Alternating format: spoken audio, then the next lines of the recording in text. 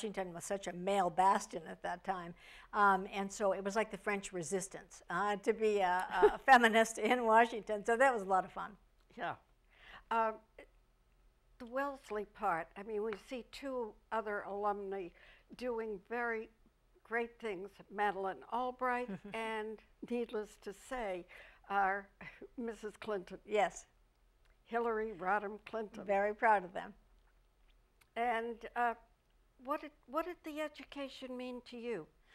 Well, I don't think it's an accident that these two strong women have made it to the top of the American government. Um, I think we, we only had, there were a handful of male teachers, but mostly the teachers at Wellesley were women. And so we saw them in positions of authority and positions of power. Um, we admired them enormously. The college was run by women. Uh, the president was a woman, has been for many years. Um, and so I think that we had a sense that, that we were okay, that we were not second, playing second fiddle to anybody.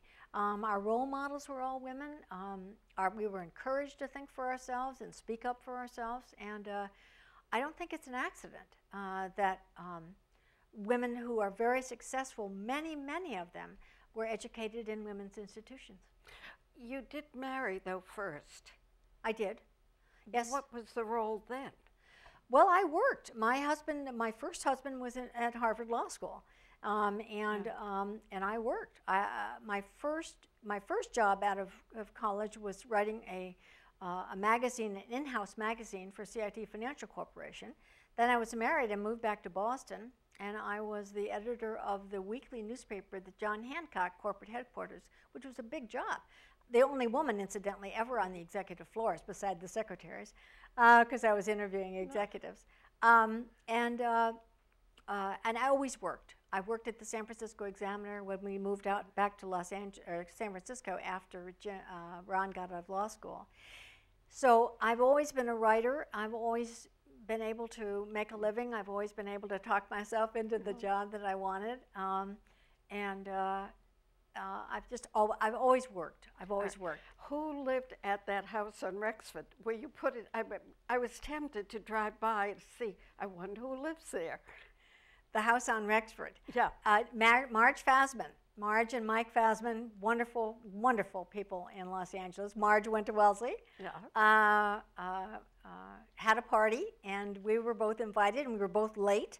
Um, so we literally came toward each other on North Rexford Drive and turned into the same walk. It was very awkward. Uh, and uh, that was our first meeting. Oh, very romantic. I, I, assume she came to your wedding. She did, indeed. We, we credit her always yeah. uh, with the fact that we, uh, we had this wonderful life together. I should say also that Jim, in his last book, co authored with Gerald Gardner. Right uh, about people being over 80. Right. And some of the astounding, but some of them are still alive. That's right. But there are others who unfortunately have passed, passed on. on. Yeah, that was a while ago. The All book came out. The last editor. The last editor. Okay. The Last Editor. Jim titled his biography The Last Editor, tongue in cheek uh, but it turned out to be prescient. Uh, the last editor. We should have cloned him. Strong will, softened by warmth, relentless passion for the fourth estate, his utter lack of self regard. We really should have cloned him. Success not celebrated by winning, but by belief in his writers, their prizes, his products. We couldn't clone him Slight man, darkly handsome, long hands his hallmark, gesturing, challenging his team, holding me fast. The blade of his decisiveness was tempered by laughter, loss, best, faith in his intuition. Alas, we didn't clone him. It's too late. Living forward, understanding backward, the boy in the man impatient for adventure once again, is gone. Where is he buried? He, Jim, asked to be cremated, and his, we scattered his ashes on the rock in the Pacific where we were married. Ah. So, it, but the memory lingers on and the credit lingers on. And this is the best memorial, The Blue Darter. Thank you so much. And I think there'll be a lot of women as well as men who will read it and identify with many of the thoughts you have here. Well, people have said to me, and I think it's it's true that it is a book about dealing with Alzheimer's, but it's also a wonderful love story. Yeah, it definitely is. Will you autograph my book? I would be delighted Thank to. you. And if you'd like to know what else we've been reading, visit me on the web at www.conniemartinson.com. We'll tell you about some other books we've liked recently. The Ascension of Jerry by Chip Jacobs. Interesting book, holds you, beautifully written. Jerry was Jerry Schneiderman. He had a partner, Richard, who was the bon vivant, and they designed new factories. They designed the interior place. They knew uh, Space Matters was the name of their firm. And they had to hire a man to be their, uh, I guess, overseer for their, their crew.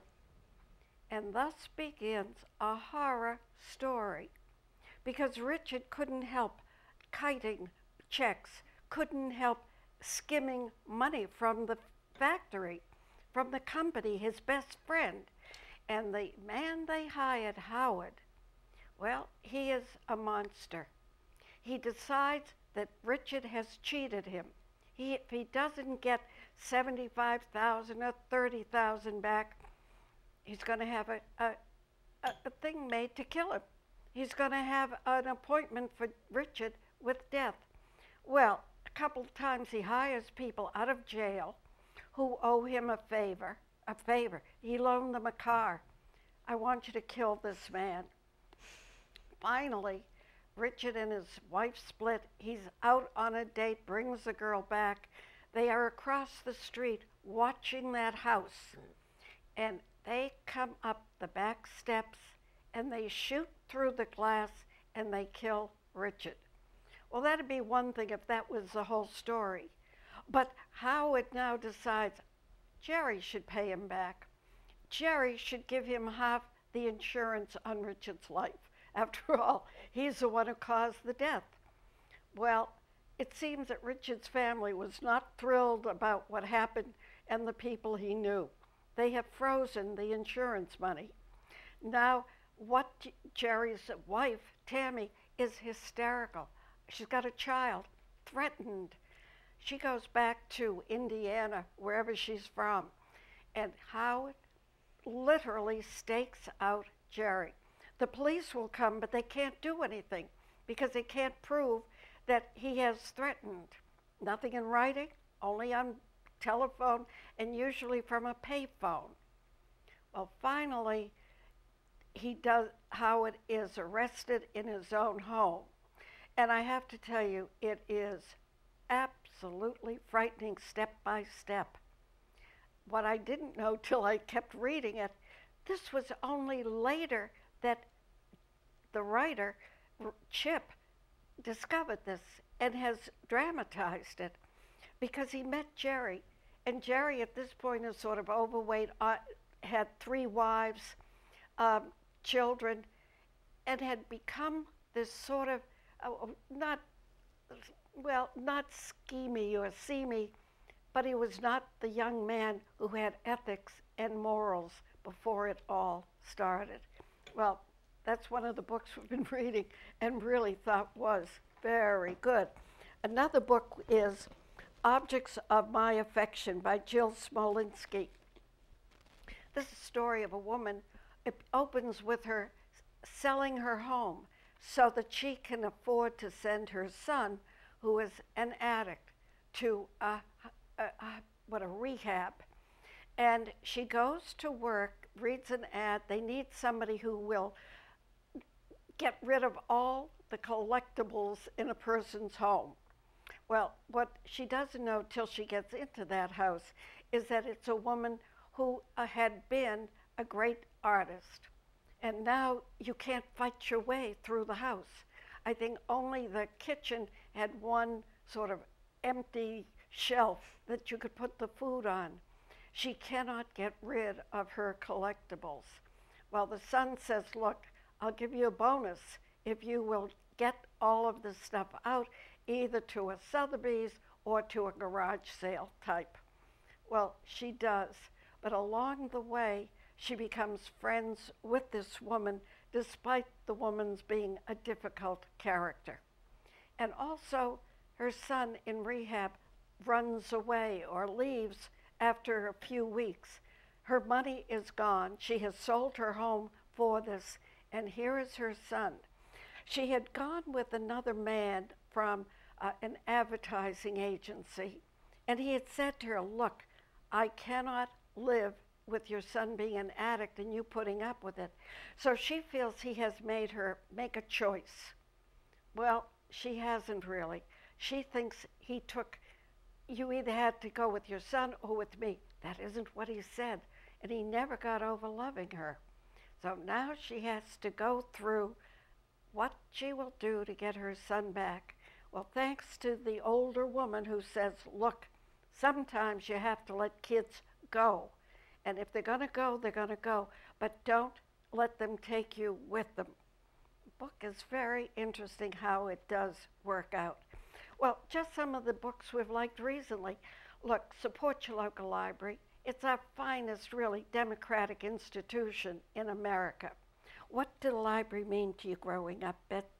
Oh, I was I was a great library fan. I spent hours and hours in the library in Plattsburgh, New York. There's not a whole lot to do, yeah. but ski and skate.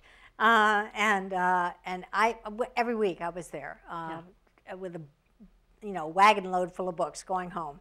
And even now, this her book, uh, The Blue Darter, is something you should really read either in the library or wherever you can. So support the library. Take a child with you. They will never forget you or where they got their first library card. And uh, we'll see you next time. Thank you very much. Thank you, Connie. It was a pleasure. Thank you.